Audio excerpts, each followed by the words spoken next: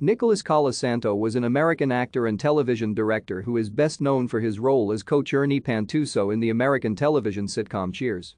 He served in the United States Navy during World War II and later attended the American Academy of Dramatic Arts in the 1950s.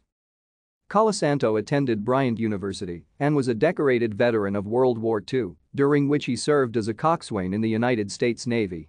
Around 1954 he intended to work as an accountant for a company in Saudi Arabia. Instead, he attended American Academy of Dramatic Arts. He was of Italian descent. Colasanto is best known for his role as Coach Ernie Pantusso, a character in the television sitcom Cheers. He also directed episodes of many television series, including Hawaii Five-O, Starsky and Hutch, Bonanza, Columbo, and Chips.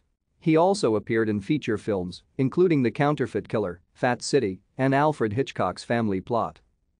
Colasanto was in demand as an actor and director, but in the mid-1970s he was diagnosed with heart disease, which was exacerbated by his alcoholism.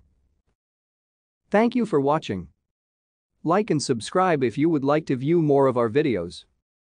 Have a nice day.